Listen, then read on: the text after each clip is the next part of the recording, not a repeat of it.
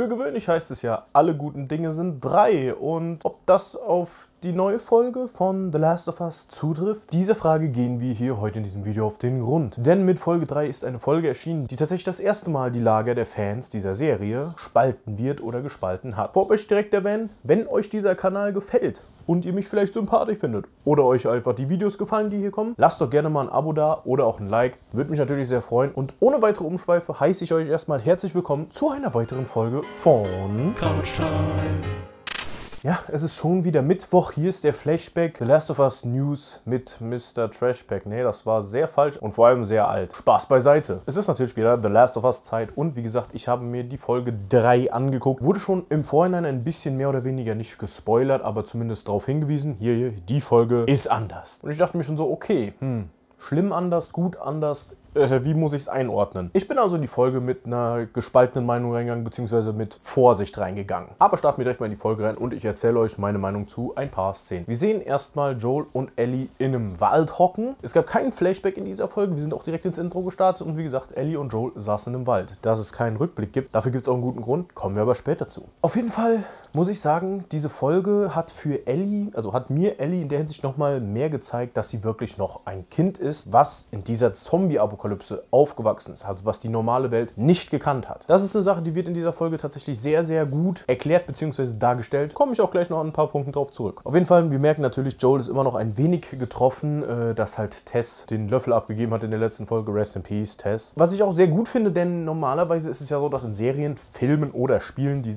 Tod von einem Charakter meistens so innerhalb von paar Sekunden abgefrühstückt ist. Aber hier kann man sagen, bis zur letzten Szene dieser Folge merkt man Joel an, dass äh, es halt äh, ja, ihm noch schwer im Magen liegt, sagen wir es mal so. Nach wie vor ist das Ziel der beiden ja zu Bill und Frank zu kommen. Bill und Frank kennen die Leute, die die Spiele gespielt haben, zumindest Bill kennen wir besser. Und naja, sie sind auf dem Weg zu diesen beiden hin, da sie ja immer noch das Ziel, oder da der Joel immer noch das Ziel verfolgt, Ellie zu den Fireflies zu bringen, beziehungsweise halt zu einem Punkt zu bringen, wo sie halt mit ihrer ne, Immunität und so, ihr wisst wohin. Auf jeden Fall auf dem dem Weg dahin ist, wie gesagt, perfekt einfach. Die Beziehung zwischen den beiden fängt halt langsam an, warm zu werden. Man merkt es so hier und da. Ellie fragt sehr viel, muss man noch sagen. Es ist aber, wie gesagt, es spiegelt perfekt ihre Jugendlichkeit und ihre Kindlichkeit, sage ich mal, noch da. Zum Beispiel diese eine äh, Szene, wo sie halt, ähm, wo sie an dem Flugzeug vorbeigehen und Ellie so fragt, ja, warst du schon mal in so einem Ding drin? Bist du schon mal geflogen?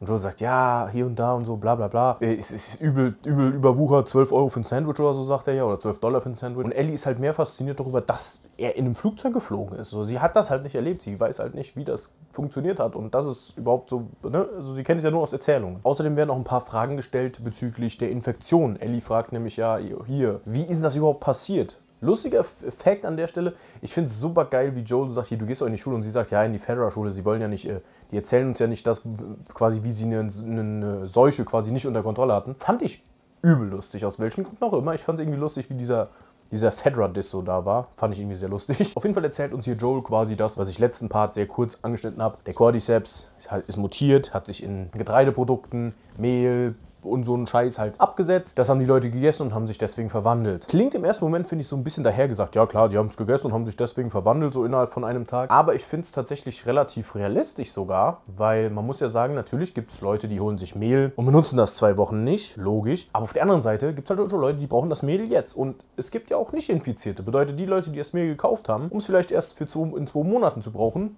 die sind nicht infiziert. Deswegen, ich finde es gar nicht mal so verwerflich, dieses, dass halt alle, die davon gerade in diesem Zeitraum gegessen haben, wirklich daran, also die Infektion quasi bekommen haben. Klar, es hört sich ein bisschen äh, sehr, sehr nach krassen Tobak an, aber es ist schon, finde ich, ganz relativ realistisch gehalten. Auf jeden Fall möchte Joel nun eine Abkürzung durch den Wald nehmen, weil er Ellie etwas nicht zeigen will. Dadurch triggert er Ellie natürlich vollkommen und sagt, sie sagt, ja, nee, jetzt muss ich sehen. Typisch Kind, man kennt.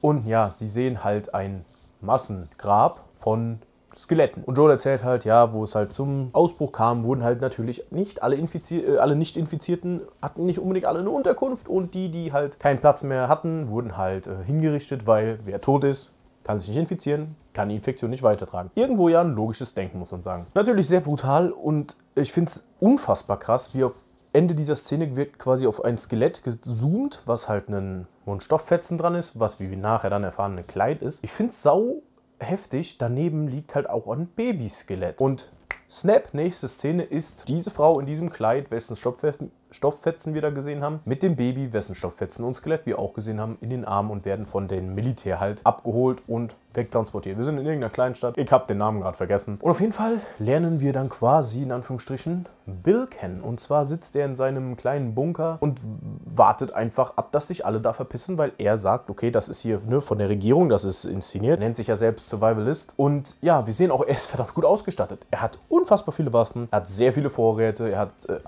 alle mögliche Technologie, Kameras, Sicherheitssysteme und und und. Nachdem die Leute abgezogen sind, nimmt er natürlich seine Gasmaske, rennt raus und sichert die Gegend und guckt halt nach, sind wirklich alle weg. Bill zieht seine Gasmaske ab und in welches Gesicht blicken wir da? In das von Nick Overman und ich muss sagen, die Besetzung, auch in dem Fall wieder optisch, eine glatte 10 von 10. Ich finde, sie hätten niemand besseren für Bill finden können. Rein optisch schon und auch von der Art her hat er es saugut rübergebracht, die ganze Rolle. Wie gesagt, wir befinden uns nun in dem Flashback, den wir am Anfang der Serie nicht gesehen haben. Und wir sehen, Bill ist vorbereitet, er ist fuck. Er macht das, was wir uns alle als Beispiel vornehmen sollen.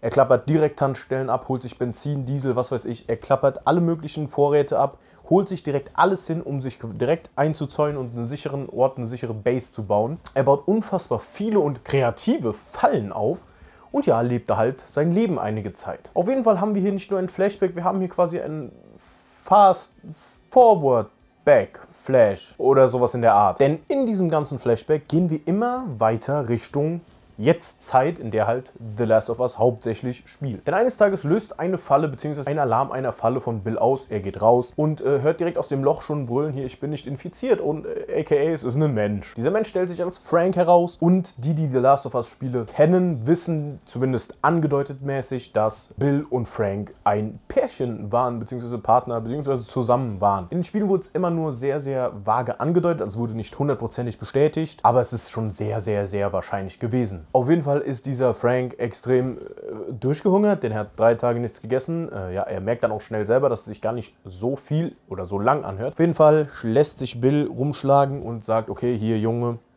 Du kriegst was zu essen, danach kannst du dich gerne verziehen. Was mich schon zum ersten Kritikpunkt hinleitet, denn dieser Bill ist in mancher Hinsicht halt nicht so wie der Bill aus den Spielen, denn der Bill aus den Spielen hat wirklich, ist sehr, sehr, sehr, sehr paranoid ist dieser Bill auch, aber halt er lässt halt innerhalb von drei Sekunden so, nein, doch, nein, doch, okay, lässt der Frank einfach in sein Haus und serviert ihm auch noch gefühlten drei Gänge, fünf Sterne Menü mit äh, sehr gutem Wein augenscheinlich. Auf jeden Fall muss ich sagen, diese erste Szene, dieser erste Kontakt zwischen Bill und Frank, muss ich sagen, war mir zu schnell. Also es war von, okay, ich vertraue dir nicht, verpiss dich, okay, ich gebe dir nur ein Essen, okay, wir reden, verstehen uns und okay, ja, wir, wir landen im Bett. Das ging verdammt schnell, ein bisschen zu schnell, finde ich. Hat in dem Moment einfach nicht für mich realistisch genug gewirkt. Auf jeden Fall geht der nächste Timeskip nach vorne und wir sehen, ja, die beiden haben jetzt schon ein paar Jährchen in einer Beziehung gelebt und ab diesem Moment ist die ganze Folge, finde ich, unfassbar genial. Denn, und das ist der Punkt, der es so cool macht, es wird einfach nicht extrem drauf rumgeritten, dass die beiden schwul sind.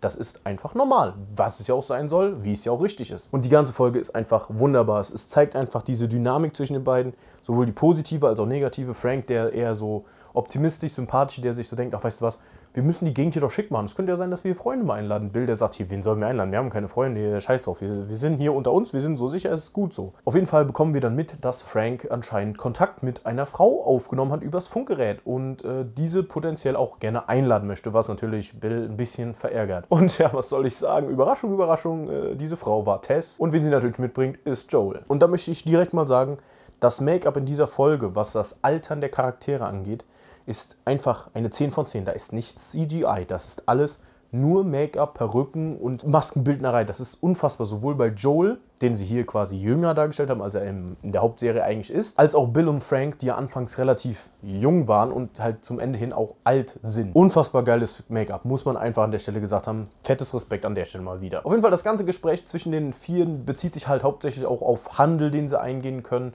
aber natürlich auch auf irgendeine Art von Freundschaft. Und naja, Bill und Joel, man merkt schnell, die sind sich ziemlich ähnlich, aber gleichzeitig sehr verschieden, denn sie sind beide sehr skeptisch, weil Bill einfach die ganze Zeit seine Waffe so auf dem Tisch hat und so sagt so, hier, ich vertraue keinem von denen hier, ich mach hier und ich behalte die Knarre auf dem Tisch. Frank und Tess äh, verstehen sich auf Anhieb, gehen dann rein, der zeigt ihr Haus und hin und her. Und wir finden auch raus, dass Frank den Musikcode aus Folge 1 quasi sich ausgedacht hat. Der, der, betitelt das, wenn 80er Musik läuft, dass was schief läuft oder dass halt Gefahr ist. 70er und 60er hatten ja auch noch eine Bedeutung, weiß ich gerade nicht mehr. Aber interessanterweise hat Frank diesen Code quasi sich ausgedacht. Und Joel redet mit Bill und sagt hier, eure Mauern bzw. euer Zaun ist zwar stabil, aber ähm, es werden Menschen kommen, es werden Leute kommen, die das hier einnehmen wollen und das überfallen wollen. Und man muss einfach sagen, dass es bis dahin noch nicht passiert ist, ist schon sehr, sehr unwahrscheinlich. Aber lassen wir einfach mal für den Verlauf der Story da. Naja, hätte Joels nicht mal gejinxt, aber hat er ja. Und Szene später greifen Leute an und wir sehen dann erstmal wie kreativ manche Fallen wirklich von Bill waren. Und es ist einfach ein enorm cooler Fight. Und naja, Bill wird angeschossen, weil er dumm, wie er in dem Moment war, einfach Open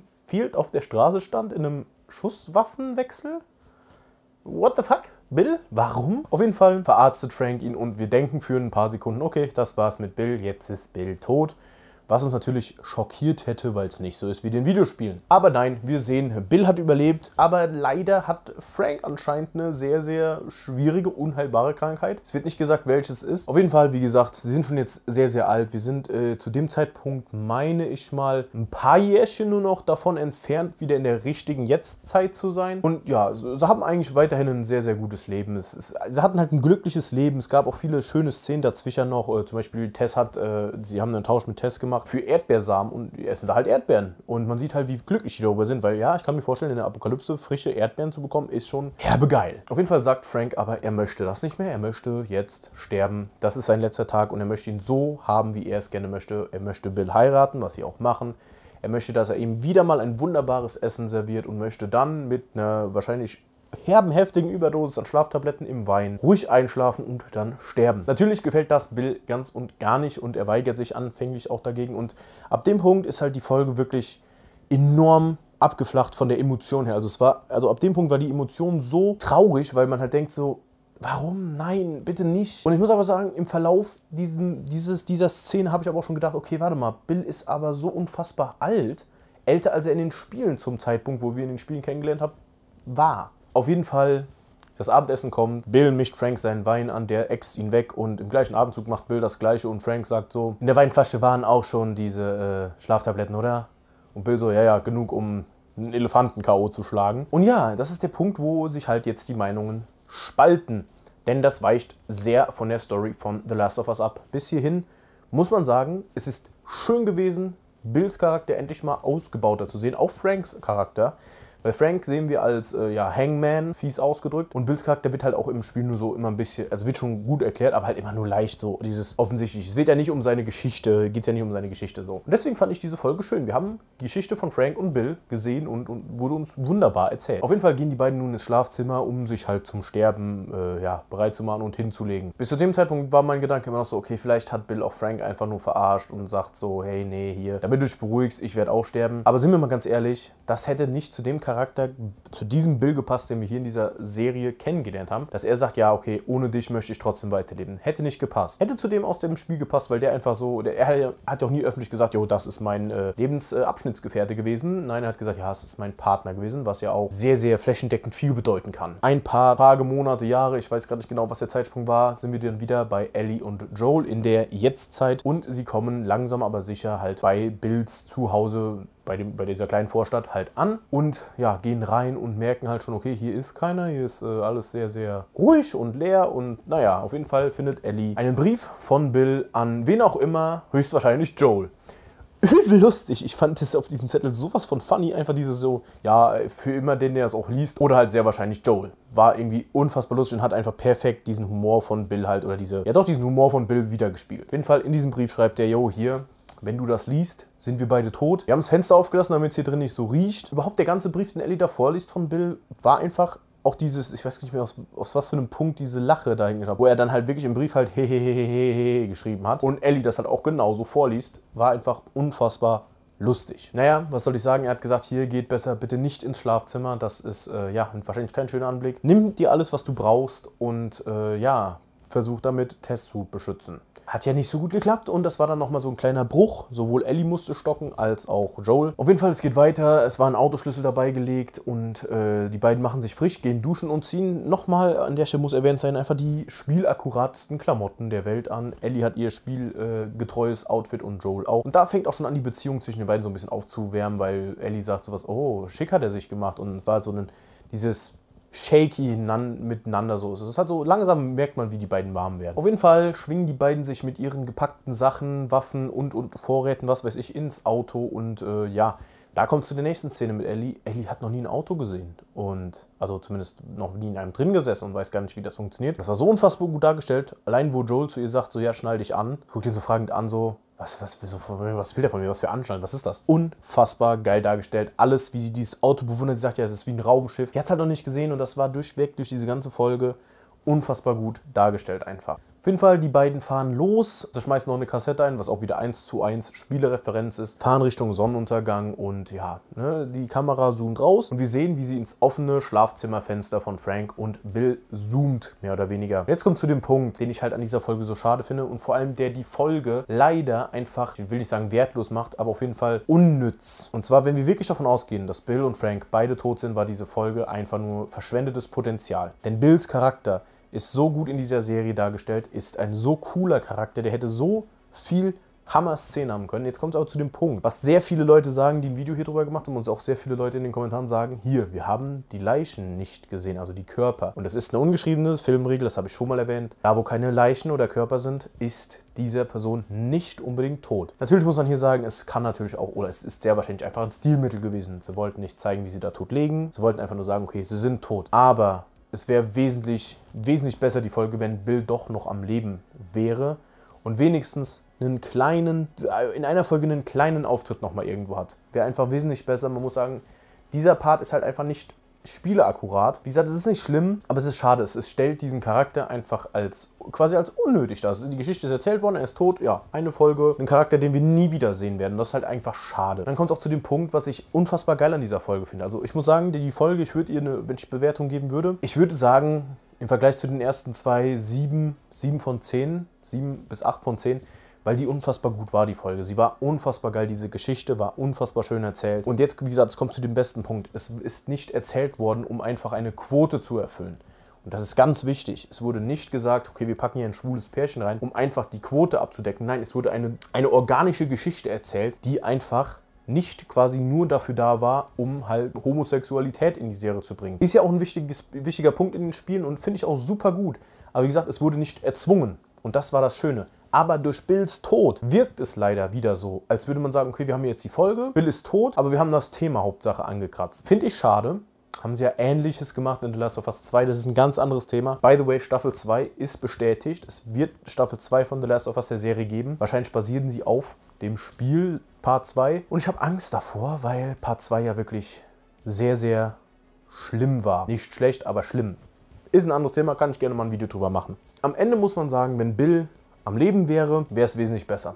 Diese Folge hätte ihren Sinn gehabt und Bill wäre kein verschwendeter Charakter gewesen. Wenn wir davon ausgehen, was sehr wahrscheinlich der Fall ist, dass wirklich Bill und Frank tot sind, war diese Folge verschwendetes Potenzial und es wirkt, keine Andeutung, dass es wirklich so ist, aber es wirkt leider wieder so, als wäre es einfach nur reine Quotenerfüllung. Ist es aber trotzdem nicht. Vom Gefühl her ist es es einfach nicht. Nur durch den Tod macht es halt wieder so gleichgültig. Das ist das, der, der Punkt, der halt ein bisschen schade ist, muss ich sagen. Nichtsdestotrotz, man muss sagen, es wird hier nicht drauf rumgeritten. Wie in manch anderen Serien und Filmen und Spielen mittlerweile auf diesem Thema rumgeritten wird, das ist ein eigenes Thema, ein viel zu großes und viel zu heißes und krass herbes, wichtiges Thema, was halt sehr, sehr scharf ist. Gibt es genug Videos zu dieses erklären. Auf jeden Fall finde ich es gut, wie sie es gemacht haben, weil es war, wie gesagt, nicht der Mittelpunkt dieser Folge, was sehr, sehr wichtig ist. Es war nicht der Mittelpunkt. Der Mittelpunkt waren diese zwei Charaktere. Nicht die, Bezie also nicht, nicht die, ihre Sexualität zueinander. Und das war finde ich super gelöst. Deswegen ist die Folge auch sehr, sehr stark. Natürlich nicht so stark, finde ich persönlich, wie die ersten zwei. Aber am Ende muss man halt sagen, wenn sie beide tot sind, hauptsächlich halt Bill, ist es verschwendetes Potenzial gewesen. Und das wird die Folge auch ein wenig schlechter ranken, finde ich. Also die würde aufgewertet werden, wenn Bill am Leben wäre, aber halt ein bisschen mieser gerankt, wenn sie halt